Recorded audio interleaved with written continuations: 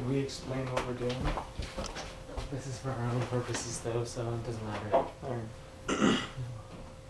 Don't move the table, don't hit it. try not? Um, don't some pillows around in case it falls. I would I would